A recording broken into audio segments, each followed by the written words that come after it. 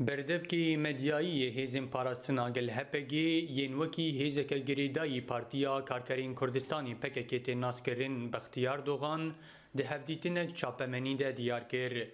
ku hebûna hejmarek ji bargehên îstixbaratî û leşkerî Tirkî li Başûrê Kurdistanê gefê li ser gelê Başûr çêdike Her wisa leşkerên Tirk ji wan bargehan planên qirêj li dijî navçeyên mîdyayên berevaniyê û hêzên gerîla amade dike li gorî gotina Dogan.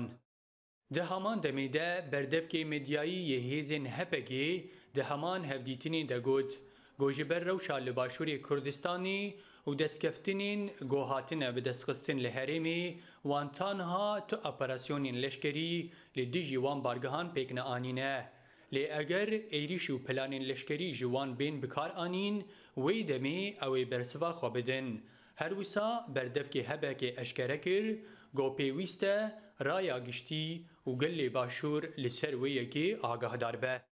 Lê ji aliyekî din ve û li gorî gotina hin rojnamevanan, armanca Partiya Karkerên Kurdistanê pkk ji wan ragihandinan di dema niha de ew e,